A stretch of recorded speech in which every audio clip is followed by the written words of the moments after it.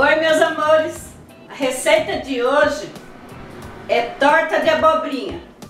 Uma delícia gente, fácil de preparar, você não vai nem sujar liquidificador para estar tá preparando esta torta.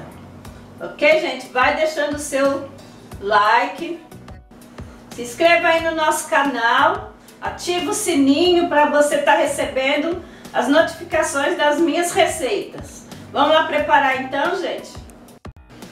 Vamos preparar nossa torta.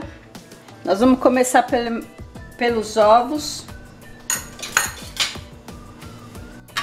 Vamos dar uma batida aqui nos ovos para misturar.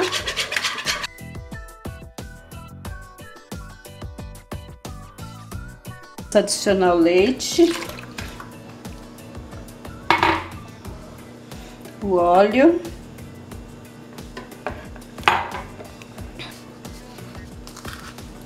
o sal, o alho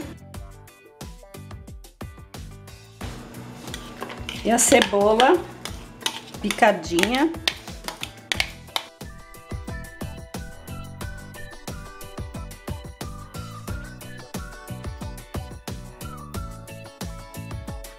Podemos misturar aqui o cheiro verde, pimenta do reino, a gosto. Nós vamos adicionar aqui a farinha.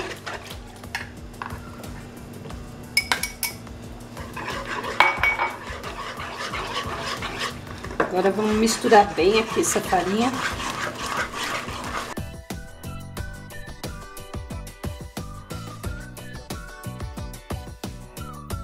Agora nós vamos acrescentar um pouquinho de queijo ralado, parmesão.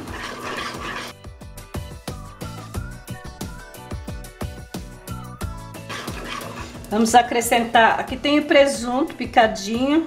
Você pode estar tá colocando linguiça calabresa, bacon e frango desfiado. Aí é ao gosto da pessoa. Tem também mussarela, se quiser colocar mussarela ou outro tipo de queijo.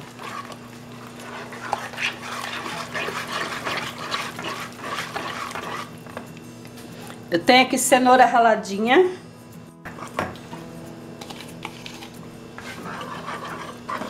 Tomate também picadinho, sem semente.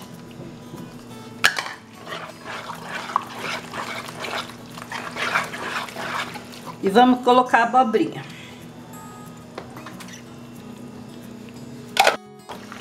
Eu tô usando a abobrinha italiana, mas pode ser a abobrinha brasileira também, a abobrinha de pescoço que eles falam, né? Abobrinha raladinha.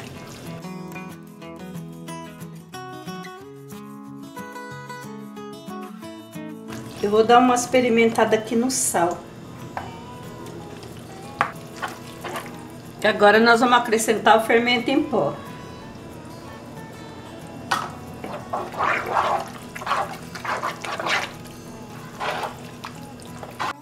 Vou acrescentar aqui uma colher de amido de milho. Pouquinho mais também, uma colher e meia.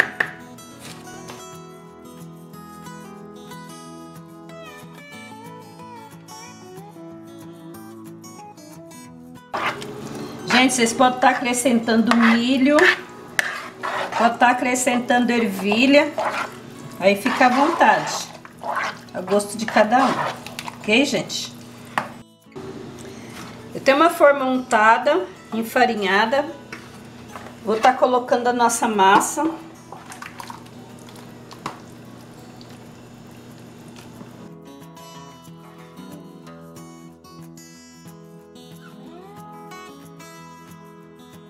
Vamos levar ao forno por 180 graus por 40 minutos, 50 minutos. Depois a gente volta.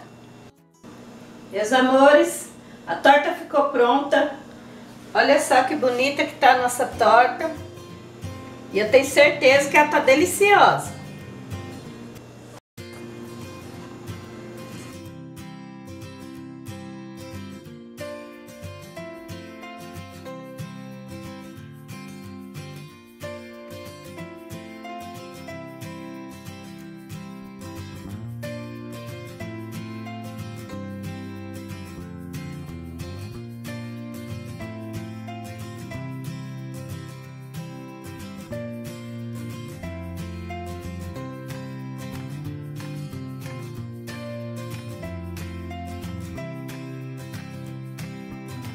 Gente, vamos experimentar nossa torta?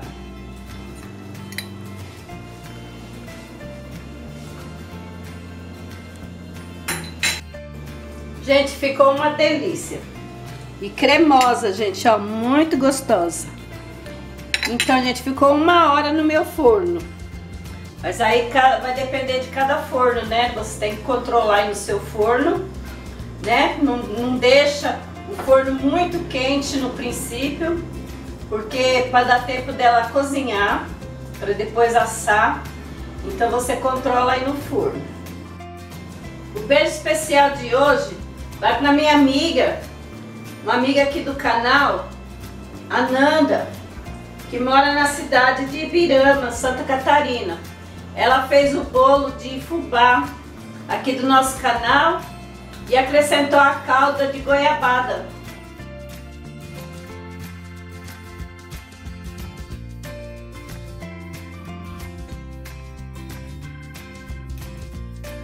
Ficou muito lindo o bolo dela e, e deve ter ficado muito, uma delícia, né? Muito gostoso também. Beijão, Nanda. Obrigado pelo carinho. Essa é a minha sugestão de hoje. Torta de abobrinha. Uma delícia, vale a pena, vale a pena fazer, gente. Ok? Beijo para todos vocês, meus amores. E até o próximo vídeo.